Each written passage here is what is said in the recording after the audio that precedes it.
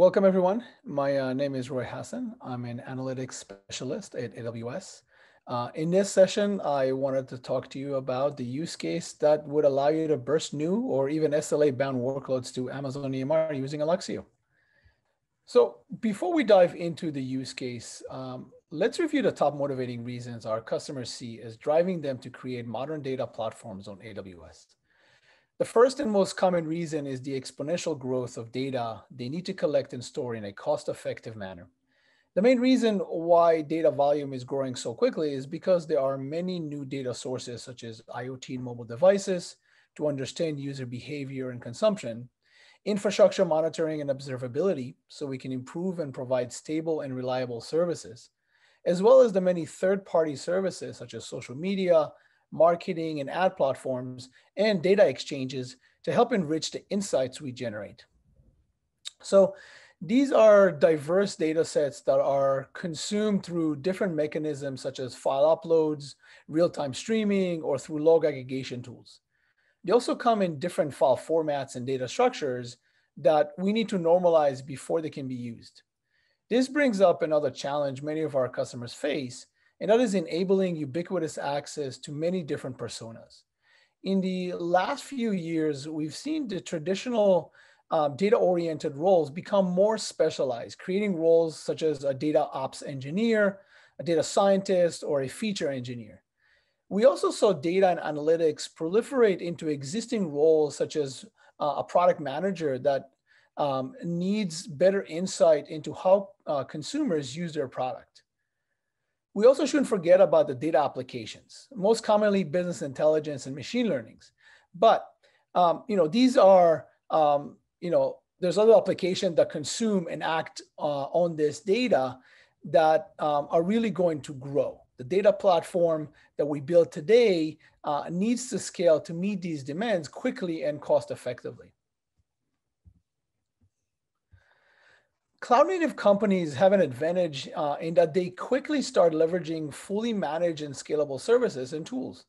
But there are still many companies who have on-premise data platforms using Apache Hadoop and legacy data warehouses. These platforms are difficult to manage and upgrade, resulting in them uh, falling behind on technological innovation, improvements, and even critical security fixes. It's also very difficult to integrate with the hottest uh, and most innovative new technology trends and tools because they're designed to run in a cloud, leaving you struggling to find the best possible alternative, which isn't always the best use of your time. Furthermore, not having the flexibility you need inhibits your ability to experiment and iterate quickly, which makes it very difficult to remain competitive and innovate on behalf of your customers. Not to mention the capital and operational expense that goes into maintaining, scaling, and growing the adoption of your on-premise environment. So modernization is, is a journey, right? We don't snap a finger and it's done. It takes time. It's careful planning uh, to really make sure that all the requirements are met and that you're building a solution that will scale with your business needs. So throughout this journey, the business doesn't really stop and wait there are new projects, applications, and demands that must be met by the platform. So you need a big data platform that can enable you to solve your business problems today while still maintaining continuity for your users and your applications. Introducing Amazon EMR. Some of you may have already heard about EMR, but it's really the easiest way to run large data processing and analytics jobs on the cloud. EMR is a fully managed service that makes, uh, that makes running open source engines such as Apache Spark, Presto, Hive, very simple and cost effective. We support over 21 different frameworks and continuously update them with the latest releases. We also make sure the operating system is updated and all security patches are applied, so you don't really need to think about it. Um, Amazon EMR gives you several options to manage your cost, such as compute, uh, compute savings plan, moving the data previously stored in HDFS to an object store like Amazon S3, and also using EC2 Spot, which gives you up to 80% discount on your compute. We've also made service, uh, we also made the service much easier to use, so you don't need to be a Hadoop administrator or Hadoop expert to use it. The first improvement um, is the Amazon EMR optimized runtime. So this new runtime allows us to build uh, in to, to kind of build in best practices, tuning and optimizations directly into Apache Spark through an API compatible layer.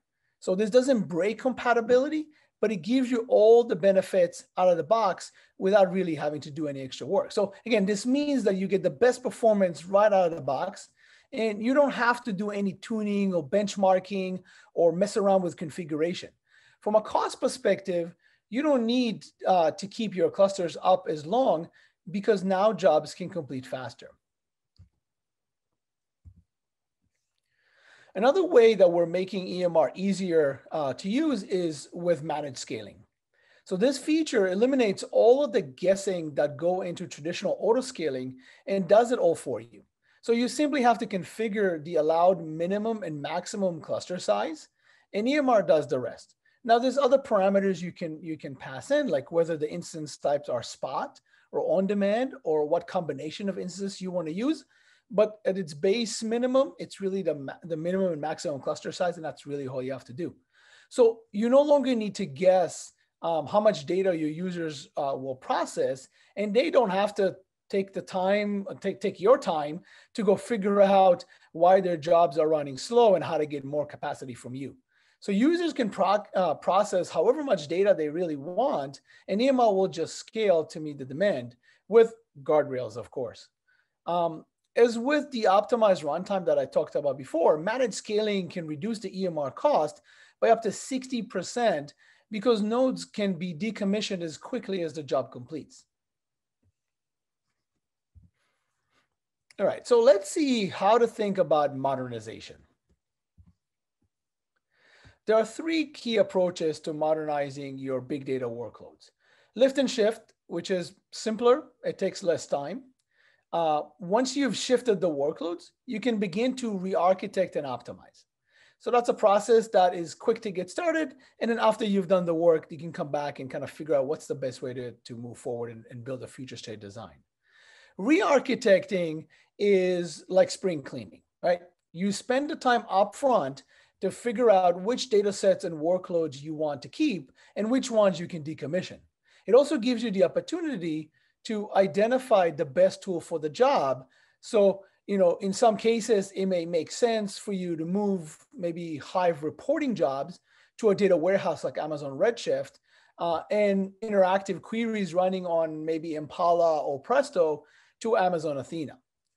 The hybrid approach is the one we'll focus on for the rest of this discussion and is simple and, and it's really a simple way for you to run net new workloads uh, or those needing dedicated capacity uh, to meet critical SLAs on, on, uh, on the cloud while the back, well, sorry, what in the background, you really figure out how to re-architect your workloads to be more cloud native, right? So let's start with, you know, SLA bound workloads with new workloads on the cloud.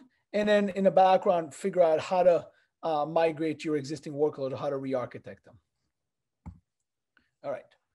So you already heard a lot about Alluxio data orchestration platform. This is what this, this conference is all about.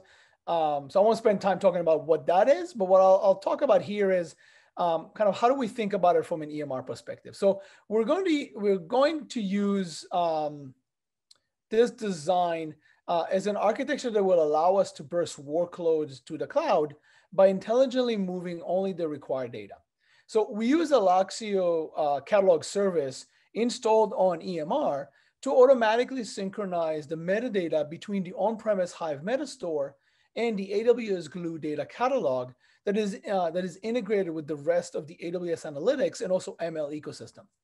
So think of it as a central serverless Hive compatible Metastore.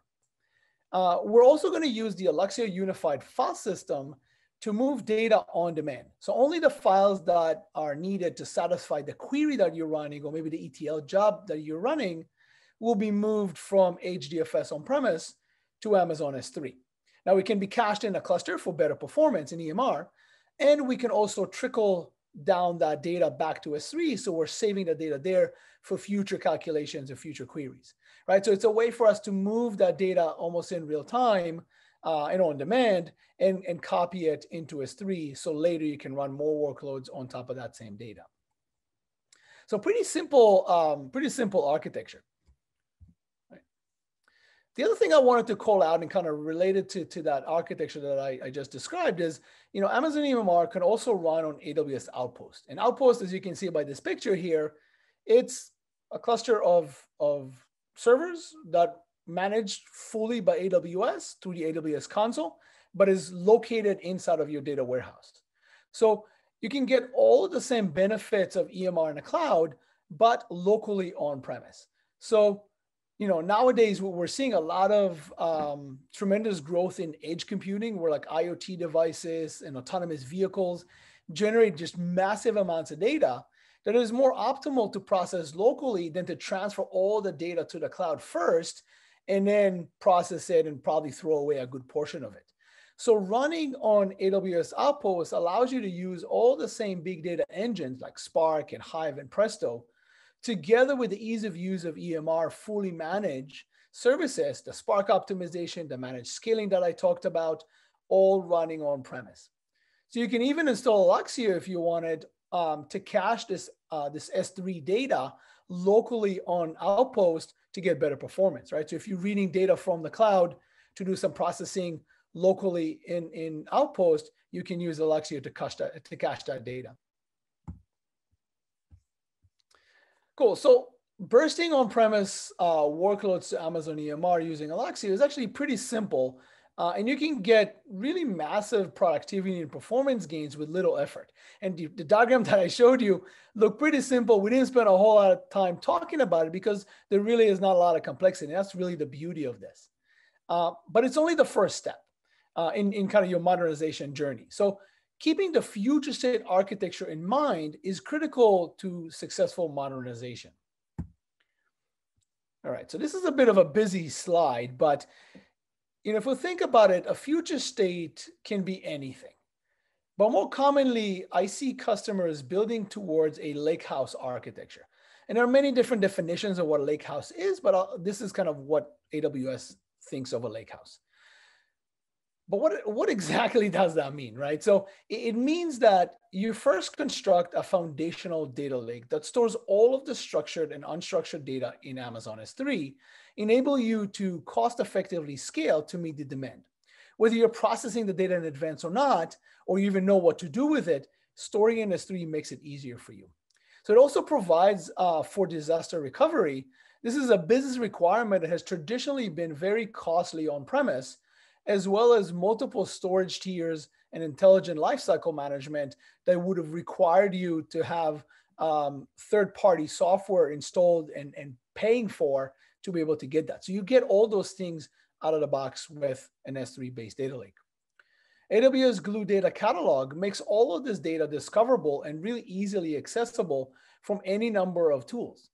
AWS Lake Formation uh, provides a governance layer that allows you to manage access to the data in a single place, right? So no longer do you have to define policies across multiple systems and tools and storage and compute, et cetera. Now you're defining it in one place. It's easier to manage uh, and it's also easy to audit. So on top of this data lake that you just created, you can now layer what we call the lakehouse consumers. AWS Data Exchange allows you to monetize your data so that's if you want to resell the data in some way. Amazon SageMaker, right? If you want to experiment, train, and even host machine learning models. Um, Amazon Athena for fast serverless queries. Amazon Redshift for data warehousing queries across S3 and local hard drives, local cache in the cluster.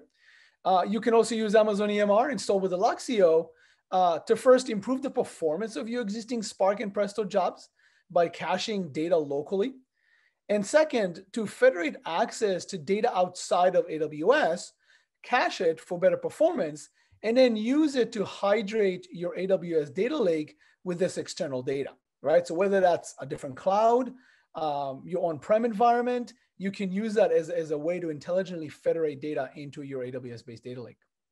So um, through this secure and flexible access layer, you can begin to offer your users advanced capabilities not easily available to them on premise, right? You use Amazon QuickSight to build dashboards and embed visualizations directly into your applications.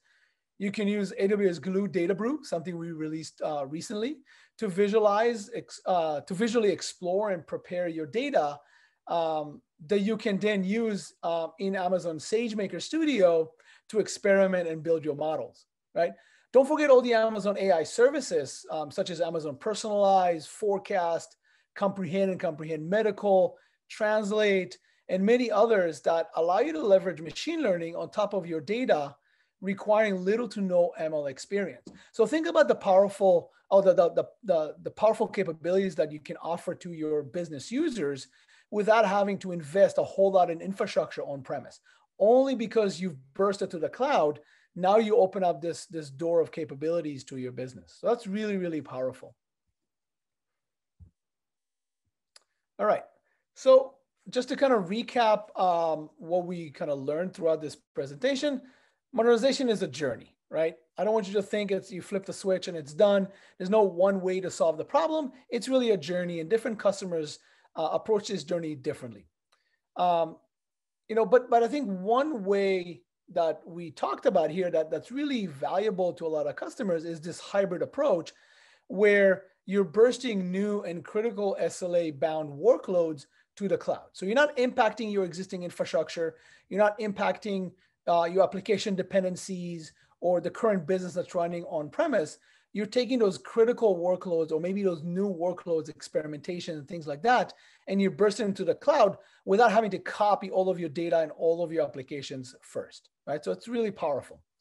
Um, you burst these workloads to Amazon EMR, which is basically a fully managed service to run your big data workloads and also ML, um, giving you the best performance capabilities and cost savings. So, um, and uh, sorry, and also when you install Alluxio on EMR, you really get the ability to automatically synchronize the metadata catalogs, which is not easy to do. Um, so your users can find and access the tables they need, whether the table lives on AWS or whether it lives on premise. Um, also makes it super easy to only move the data that's required to satisfy the query or job um, you're running. So that saves you data transfer fee, uh, data transfer costs. Um, now that you're um, you started kind of bursting workloads to AWS, you can begin to build out your future state architecture. Whether it's a lake house or some other form of a data lake is really up to you. Um, but with data and metadata on the cloud, you can begin to leverage all of the AWS native analytics and ML uh, goodness to, to really solve some, some of your business uh, most challenging problems without having to put extra investment into your on-prem environment, spend a lot of money and time in acquiring hardware and figure out how to install some of these advanced um, tools and technologies on on-premise uh, on-premise environment. All right. So thank you again for your time today. I hope this session was valuable to you. Uh, if you wanted to get started with this approach, uh, I recommend visiting the, the Alluxio link that I have on the, on the screen here uh, and get started with the EMR Bootstrap that allows you to launch a cluster and install all the Alluxio um, applications on top of that. And then you can go to the Alluxio console and start configuring away. With that, thank you very much and uh, have a good rest of your time.